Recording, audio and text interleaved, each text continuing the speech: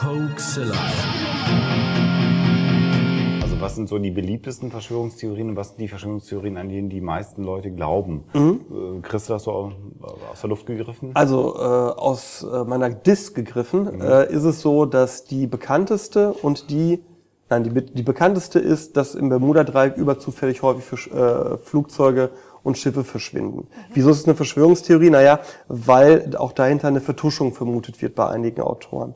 Die Verschwörungstheorie mit der höchsten Zustimmung ist, dass unterschwellige Werbung äh, existiert.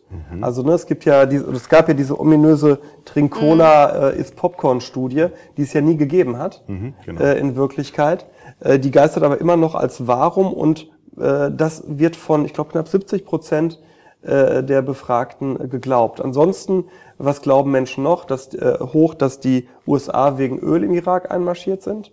Menschen glauben, dass äh, Kennedy nicht von einem Einzeltäter erschossen wurde.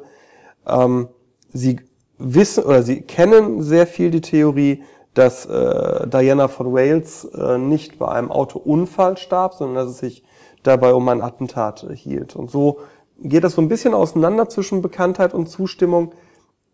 Massiv zum Beispiel bei der äh, Holocaust-Leugnung, das kennen über 90 Prozent der Befragten, aber nur 4 Prozent stimmen dem zu.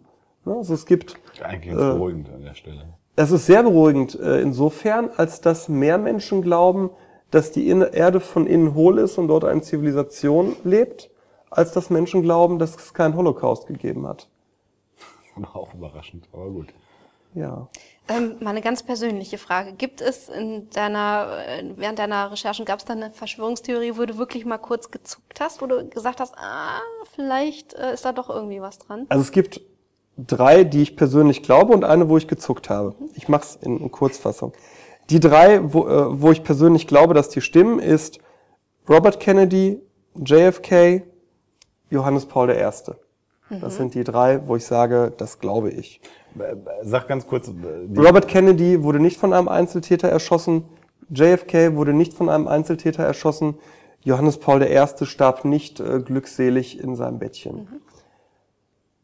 Wo ich echt geschluckt habe, war äh, bei einer ganz anderen Sache, nämlich, dass die Auspuffrohre von Autos nicht mit rostfreiem Stahl versehen werden, damit die Automobilindustrie mehr Auspuffe verkaufen kann.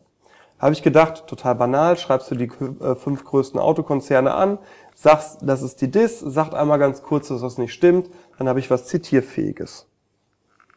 Und dann passierte nichts. Und dann kam von einem Konzern zurück, Betriebsgeheimnis, sagen wir nichts zu. Und von einem anderen, wende dich bitte an unsere Konzernzentrale in Japan. Spannend, okay. Ja. Das muss man dann erstmal so stehen lassen. Ja.